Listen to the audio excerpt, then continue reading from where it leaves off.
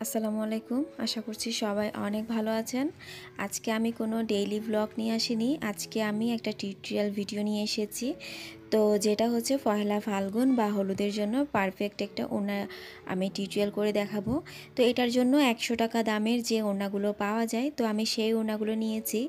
তো নর্মালি যে পেঁচানো ওনাগুলো থাকে আর কি, তো সেইগুলো এখন আমি সেই ওনাটা আমি এখন জাস্ট প্যাচটাকে খুলে একটু আয়রন করে নিচ্ছি।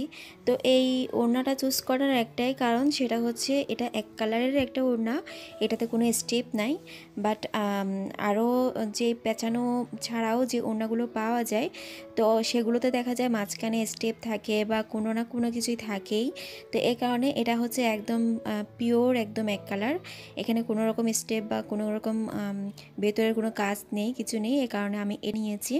তবে আপনারা আপনাদের পছন্দ মতো যে কোনো কাপড়ে করতে পারেন। তো আজকের ভিডিওটাতে আমি চেষ্টা করব যারা একদমই নতুন কোনো কাজ আগে করেননি হ্যান্ড প্রিন্টের তারাও খুব সহজে পারবেন।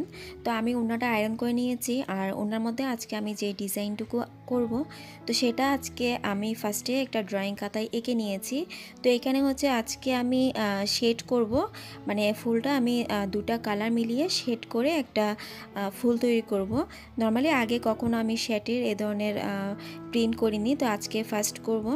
তো বরাবরের মতোই আজকে আমি নিয়েছি acrylic colour acrylic fabrics colour এটা যে কোনো লাইব্রেরি বা লেইস সুতার যে দোকানগুলো থাকে, তো সেখানে ইজিলি পেয়ে যাবেন। আর এগুলো হচ্ছে অনেকেই আমাকে বলছেন যে, আপু কুরিয়ারে আপনি পাঠাতে পারবেন কি না? আসলে এগুলো কুরিয়ারে পাঠার পাঠানোর কিছুই নেই। আপনারা লাইব্রেরিতে একটু খোঁজ নিলেই পেয়ে যাবেন। আর যদি লাইব্রেরিতে না পান, তাহলে লাইব্রেরির ভাইয়াদেরকে বললে যে আপনারা যেখান থেকে আপনাদের জিনিসপত্রগুলো আনেন, তো সেখান থেকেই আপনারা এরকম একটা ফেব্রিক কালার আমাকে এনে দিবেন। তো ওনারা কিন্তু আপনাদেরকে এনে দিবেন। যেহেতু ওনারা কিন্তু রেগুলার লাইব্রেরির কাজে বা যারা লেস সুতার যে দোকানগুলো, তো সেখানে বললেও কিন্তু অর্ডার দিলে কিন্তু ওনারা এনে দিবেন। আপনারা খুব সহজে কিন্তু ওইভাবেও কিন্তু আনিয়ে নিতে পারেন। এক্ষেত্রে টেনশন করার কিছু নেই। তো আমি যে ডিজাইনটুকু আঁকবো, তো সেটা আমি ওনাতে এঁকে নিচ্ছি। তো একটু বড় করে আঁকছি ফুলগুলো। আমি এবার হচ্ছে আমি পার সিস্টেমের করব না। ফুলগুলো জাস্ট মাঝখানে বসাবো। তো মাঝখানে বসানোর জন্য এখানে আমি টোটাল ষোলোটা ফুল এঁকেছি। তো আপনারা নিশ্চয় বুঝতে পারছেন কতটুকু আমি ঘনত্ব দিয়ে করছি। তো রং করার ক্ষেত্রে আপনারা শক্ত কোনো বোর্ড বা টেবিলের উপর অথবা আপনারা কিন্তু চাইলে ফ্লোরে বসেও কিন্তু কাজটুকু করতে পারেন। অর্থাৎ আপনাদের শক্ত কোনো কিছুর উপর কাজটুকু করতে হবে। আর নিচে অবশ্যই পেপার বিছিয়ে নিতে হবে, না হয় নিচে কিন্তু লেগে যাবে রংটুকু। তো আমি ফার্স্টেই করছি একটা ফুল, সেটা হচ্ছে গোলাপি কালার আর হচ্ছে বাসন্তী কালারের রং নিয়েছি আমি দুটা। তো মাঝখানে আমি ফার্স্টে আমি বাসন্তী কালারটুকু দিচ্ছি আর আমার ওনাটা হচ্ছে লাইট হলুদ কালার না, একদম টকটকে যে হলুদ সেটা না, একটু বাসন্তী টাইপের যে হলুদটা, আমি সেটা চুজ করেছি। কারণ নর্মালি যে হলুদ যে কালারটা সেটা দেখা যায় সব বর্ণের মানুষদের ভালো লাগে না, ভালো দেখায় না আর কি তো কিন্তু বাসন্তী টাইপের যে হলুদটা, অর্থাৎ আমি যে হলুদ কালারটা এখানে চুজ করেছি, তো এই কালারটা কিন্তু যে কোনো বর্ণের মানুষকে সেটা শ্যামলা হোক বা ফর্সা হোক বা কালো হোক প্রতিটা কালারের মানুষকে আর কি খুব ভালো লাগে। তো এ কারণে কিন্তু আমারও কিন্তু পার্সোনালি এই কালারটাই বেশি ভালো লাগে। তো কালার মেশানোর ক্ষেত্রে আপনাদের একটা জিনিস লক্ষ্য রাখতে হবে, সেটা হচ্ছে একটা পাপড়ির ক্ষেত্রে আপনারা যদি পাপড়িটা ধরুন তিন ভাগ, তিন ভাগের দুই ভাগ আপনি হলুদ কালারটা দিলেন মানে বাসন্তী কালারটা দিলেন আর কি, এক ভাগ দিবেন হচ্ছে আপনি গোলাপি কালার, তারপর হচ্ছে আপনি যখন মাঝখানে মিলাতে যাবেন তখন দেখবেন আপনার হলুদ আর গোলাপিটা আর কি যতটুকু হলুদ ততটুকু গোলাপি এরকম মনে হবে, মাঝখানে একটা শেড হবে, এটা সুন্দর লাগবে। তো শেডটুকু কীভাবে আপনারা তৈরি করবেন আমি বিস্তারিত আপনাদেরকে আরও বুঝিয়ে বলছি। তার আগে আপনাদের কাছে একটা রিকোয়েস্ট সেটা হচ্ছে যারা আমার চ্যানেলে নতুন, আমার চ্যানেলটি এখনও সাবস্ক্রাইব করেননি, আমার চ্যানেলটি সাবস্ক্রাইব করবেন, আর পাশে থাকা বেলটি বাজিয়ে দিবেন। আর যারা অলরেডি সাবস্ক্রাইব করেছেন, সকলকে অসংখ্য ধন্যবাদ। আর আমার ভিডিওটি যদি ভালো লাগে, তাহলে আপনারা ফ্রেন্ডস অ্যান্ড ফ্যামিলিদের সাথে শেয়ার করবেন। তো আমি নর্মালি রং করার ক্ষেত্রে একটু পানি ইউজ করি, রংটা একটু পাতলা করার জন্য। নর্মালি যে রংটা আছে সেটা ঠিক আছে। এখানের সাথে কিন্তু আমি কোনো কিছু মিশাইনি। জাস্ট যে রংটুকু আমি কিনে এনেছি সেই রংটাই আমি দিয়ে করছি। তবে চাইলে কিন্তু এক ফুটা থেকে দুই ফুটা পানি মিশানো যায়। পানি মিশানোর মানে এই নয় যে আপনি এক থেকে দুই চামচ পানি মিশাবেন। খুবই অল্প পানি, এক থেকে দুই ফোঁটা পানিই এনাফ এর চেয়ে বেশি কিন্তু মেশানো যাবে না। এতে করে রঙটা কিন্তু যথেষ্ট পরিমাণে পাতলা হয়ে যাবে। আপনি যখন কাজটুকু করতে যাবেন, তখন রঙটা দেখবেন ছড়িয়ে যাচ্ছে। আপনি ইজিলি কিন্তু রং করতে পারবেন না। তো সেক্ষেত্রে আপনি রঙটা কিন্তু একদমই পাতলা করা যাবে না। তো এখন হচ্ছে আমি একটা সবুজ কালার আর বাসন্তী কালার দিয়ে রং করছি। তো আমি এখানে মূলত বিভিন্ন কালার ইউজ করব। যেহেতু এটা বাসন্তী কালারের না তো এখানে আমি ডার্ক কালার যেগুলো সেগুলো ইউজ করব। এখানে আমি লাল, গোলাপি কালার, সবুজ কালার, নীল কালার। নীল কালার বলতে যেটা নেভি ব্লু যেটা, সেটা আমি ইউজ করব না। কারণ নেভি ব্লু কালার দিয়ে আমি আগে কাজ করেছিলাম। আমার কাছে মনে হয়েছে সবগুলো রঙই ঠিক আছে বাট নেভি ব্লু যে কালারটা থাকে, সেই নেভি ব্লু কালারটা হচ্ছে আপনার একটু সরে রঙটা ধোয়ার পরে একটু সরে যায় আমি হচ্ছে লাইট যে ব্লু মানে যেটা একদম হালকা যে নীল কালারটা সেটা ইউজ করব। যেটা ঘাড়ো যে নীল কালারটা সেটা না। আমি রং করার ক্ষেত্রে আপনারা দেখতে পাবেন। তো অন্যটা যথেষ্ট বড় হওয়ার কারণে হচ্ছে আমি টেবিলে করতে পারিনি এই কারণে আমি ফ্লোরে করছি। তো ফ্লোরে আমি দেখতে পাচ্ছেন পেপার বিছিয়ে নিয়েছি। এরপরে হচ্ছে আমি পুরো ওনাটুকু বিছিয়ে নিচ্ছি। এতে করে আমার কাজ করতে অসুবিধা হবে না। ওনাটা এই অবস্থাতে দেখা যাবে বিছানো থাকতে পারবে, আমার আর নড়চড়া করতে হবে না। তো এতক্ষণ দেখেছিলেন, আমি মাঝখানে বাসন্তী কালার দিয়েছি। এখন দিচ্ছি আমি মাঝখানে সাদা কালার। মাঝখানে সাদা আর এর পাশে হচ্ছে বিভিন্ন কালার দিচ্ছি, গোলাপি কালার, মিষ্টি কালার। দুটো কালারের একটা কম্বিনেশনে করছি আর কি। তো সাদা কালারটা দিলেও কিন্তু অনেক সুন্দর লাগে। আর আপনারা চাইলে কিন্তু পহেলা বৈশাখের জন্য সাদা যে ওনা সেই ওনাতেও কিন্তু সেম কাজটুকু করতে পারবেন।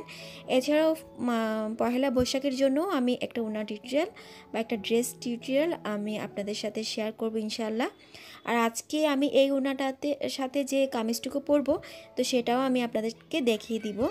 তো এখন আমি দেখিয়ে দিচ্ছি খুব সহজ আরেকটি উপায়, সেটা হচ্ছে যারা দুইটা কালার মিশাতে পারবেন না, তারা চাইলে কিন্তু এভাবেও করতে পারেন। অর্থাৎ দুটা কালার ফার্স্টে আলাদা আলাদাভাবে রং করে নেবেন, মিশানোর দরকার নেই। পাঁচ, দশ মিনিট পরে বা সবগুলো করে নেওয়ার পরে তারপর হচ্ছে আপনার কালারগুলো মিশিয়ে নেবেন। সেক্ষেত্রে রঙটা যখন একটু শুকনো হয়ে থাকে, আপনার ব্রাশটাও শুকনো। তো শুকনো সেই ব্রাশটা দিয়ে আপনি ইজিলি এটা জাস্ট ফিনিশিং করলে দুইটা কালার মিশে যাবে। তো এখন আমি পার তৈরি করব। পারের জন্য হচ্ছে আমার একটা ডায়েলস তৈরি করতে হবে। তো এই জন্য হচ্ছে আমি আলু দিয়ে আজকে ডায়েলস তৈরি করছি। তো আলু দিয়ে আমি জাস্ট ত্রিভুজের মতো করে একটা ডায়েলস তৈরি করছি। ত্রিভুজের দেখা যায় তিনটা রেখা থাকে। তো আমি এখানে তিনটা রেখার মধ্যে একটা রেখা একটু লম্বা করেছি, দুটা রেখা একটু ছোটো সাইজ করেছি। আমি যখন ডিজাইনটুকু করব, তখন আপনারা অনুমান করতে পারবেন আমি কতটুকু করেছি। এই যে জাস্ট আমি কেটে নিয়েছি, খুব ইজিলি হয়ে গিয়েছে। আর ওইদিকে কিন্তু হাদিবের বাবা বলছিল যে, তুমি লাস্ট পর্যন্ত তুমি আলো দিয়ে কাজ শুরু করে দিয়েছ। তো সে দুষ্টুমি করছিল। তো এরকম হচ্ছে একটা ফোম একটা প্লেটের উপর রেখেছি, এর মধ্যে হচ্ছে আমি রংটুকু ঢেলে নিয়েছি। আমি হচ্ছে ম্যাজেন্ডা কালারের পার তৈরি করব, যেহেতু আমি যে কামিজটা তৈরি করেছি সেই কামিজটা হচ্ছে ম্যাজেন্ডা কালার এই কারণে আমি ম্যাজেন্ডা কালারের পার তৈরি করব। এখানে টোটাল আমার এক কোটা রং লেগেছিলো, আর এখানে কিন্তু প্রতিটা কোটা রং হচ্ছে তিরিশ টাকা করে বা পঁচিশ টাকা করে, নর্মালি পঁচিশ টাকা করে। আমি ছোটো একটা খুচরা দোকান থেকে নিয়েছি এই কারণে ওনারা একটু দামটা বেশি নিয়েছে। তো দেখতে পাচ্ছেন কত সহজে কিন্তু আমি রং করে নিয়েছি। আলো দিয়ে কিন্তু বিভিন্ন ডিজাইনের আপনারা ডায়েস তৈরি করতে পারবেন। তো আলো দিয়ে কীভাবে বিভিন্ন ডিজাইনের ডায়েস তৈরি করবেন, সেটার উপর ইনশাল্লাহ আমি একটা টিউটোরিয়াল ভিডিও দিব। তো সেই পর্যন্ত আপনারা অপেক্ষা করতে হবে। আর আমি আমার চেষ্টা করব আমার চ্যানেলে সব কিছু দেওয়ার। আমাকে একটু সময় দিতে হবে আপনাদেরকে। আমি সেটা গত পর্বে বলেছি, আমি কতটা ব্যস্ত আছি। তারপরও আমি চেষ্টা করছি আপনাদেরকে ভালো কিছু প্রেজেন্ট করার, আপনাদের মাঝে ভালো কিছু তুলে ধরার। তো আশা করি যে আপনাদের কাজে আসবে প্রতিটা কিছু। আর আমার প্রতিটা ভিডিও আমি আশা রাখি যে আপনারা ফুল ভিডিও ধৈর্য সহকারে দেখবেন। কারণ আমি প্রতিটা ভিডিওর মাঝখানে চেষ্টা করি প্রতিটা প্রশ্নের উত্তর দেওয়া, দিয়ে দেওয়ার। তো আপনারা দেখা যায় যখন ভিডিওটা টেনে দেখেন, অনেক কিছুই হয়তো স্কিপ হয়ে যায়। তো যাই হোক, আমার ফুল দুটা পাড়েই কিন্তু পাটগুলো হয়ে গিয়েছে। আমি এই অবস্থাতেই এটা এখানে এক ঘণ্টার মতো রাখব। এটা নড়াচড়া করার দরকার নেই। এখন আমি এই ফ্লোর থেকে তুলবো না। তো এক ঘণ্টা পরে হচ্ছে আমি এখন রাত্রেবেলা আমি কাজ করেছি, আসলে রংটুকু করেছি রাত্রেবেলা। তো আমি এখন শুকাতে দিয়েছি। অনেকেই আসলে জিজ্ঞেস করেন, কীভাবে শুকাতে দিই? এই যে এইভাবে হচ্ছে আমি গ্রিলে শুকাতে দিয়েছি। আসলে কুয়াশার কারণে কাপড় শুকাচ্ছিল না। এ কারণে বারান্দায় কিন্তু এখনও যথেষ্ট কাপড় আছে। তো এটা হচ্ছে পরের দিন। আমি হচ্ছে নিচের যে দুই পার সে দুই পারে হচ্ছে এরকম লেস লাগিয়েছি। আমি লেজের দোকান থেকে আমার পছন্দ মতো লেস কিনে এনেছি। এই লেসটার দাম নিয়েছে ষাট টাকা করে। এখানে আমার দুই পাড়ে দিতে লেগেছে আড়াই গজ লেস। তো গজ লেস দেওয়াতে কিন্তু এটা যথেষ্ট সুন্দর হয়েছে। এখন এখানে আমি আরও কিছু কাজ বাকি আছে। সেটা হচ্ছে এখানে আমি ডলার স্টোনের কাজ বসাবো কাজ করব আর কি। তো এখানে খুবই অল্প পরিমাণ আমি ডলার কিনেছি, মাঝারি সাইজের যে ডলারগুলো, তো সেগুলো কিনেছি। আর কিনেছি আমি স্টোন স্টোন হচ্ছে পাতা শেপের যে স্টোনগুলো, সেগুলো কিনেছি। এগুলো আপনারা যে কোনো দোকানে কিন্তু পেয়ে যাবেন অ্যাভেলেবেল। এছাড়াও কিন্তু গাউসিয়াতে কিন্তু এই ধরনের কিন্তু আরও অনেক সুন্দর সুন্দর আরও অনেক আকর্ষণীয় কিন্তু স্টোন আছে। তো আমি যে দোকানে গিয়েছি, এই সাইজের স্টোনগুলো ছিল। বাট আমার আমার যেটা ইচ্ছে ছিল যে আরেকটু বড় সাইজের স্টোনগুলো লাগাবো। তো এরকম হচ্ছে আমি একটা ফেব্রিক গ্লু নিয়েছি। এগুলো যে কোনো দোকানে আপনারা পেয়ে যাবেন ফেব্রিক গ্লু আপনারা চাইলে প্রতিটা কিছুর স্ক্রিনশট নিয়ে রাখতে পারেন। সেক্ষেত্রে দোকানে দেখালে কিন্তু খুব ইজিলি পেয়ে যাবেন। তো আমি একটা ফুলে স্টোন লাগিয়ে দেখাচ্ছি কীভাবে করছি। তো এই যে মাঝখানে আমি ডলারটুকু বসিয়ে নিয়েছি। দেখুন ডলার বসানোর পরে এটা, এই ফুলের পুরো লুকটাই চেঞ্জ হয়ে গিয়েছে। এরপরে হচ্ছে আমি স্টোন বসাচ্ছি। আমি প্রতিটা পাবলিতে দুটা করে স্টোন বসাচ্ছি। আশা করি আজকের ব্লগটি আপনারা বুঝতে পারছেন। তো যদি আপনাদের আরও কিছু প্রশ্ন থেকে থাকে, তাহলে আপনারা আমাকে কমেন্ট করে জানাতে পারেন। তো আমি প্রতিটা ফুলে হচ্ছে এভাবে লাগিয়ে নিয়েছি।